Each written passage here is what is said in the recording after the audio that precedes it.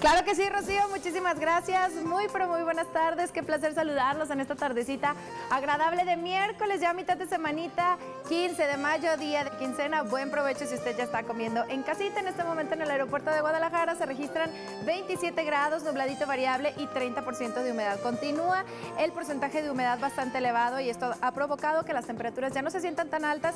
Sin embargo, el calor que se queda atrapado sí provoca que se sienta bochornoso el ambiente. En este momento, ¿cómo se comportan los termómetros en la zona metropolitana? Zapopan marca 26.6, Guadalajara con 27.8, Tlajomulco con 28, Tlaquepaque con 28.5, El Salto con 26.3 y Tonalá con 27.1 grados centígrados. El pronóstico de detalle el día de hoy esperamos llegar hasta los 29 grados alrededor de las 4 de la tarde con cielo mayormente despejado. Hacia las 6 el termómetro desciende solamente un grado a los 28 y para las 9 de la noche pues una noche calurosita agradable de 26 grados centígrados.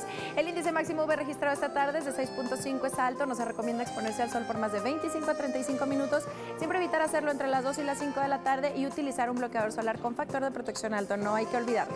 Mañana el sol sale a las 7 con 16, se pondrá a las 8 con 24 y disfrutaremos de un total de 13 horas con 8 minutos de luz solar. No se vaya porque esto solo es un adelanto, yo regreso en un ratito con más detalles del estado del tiempo.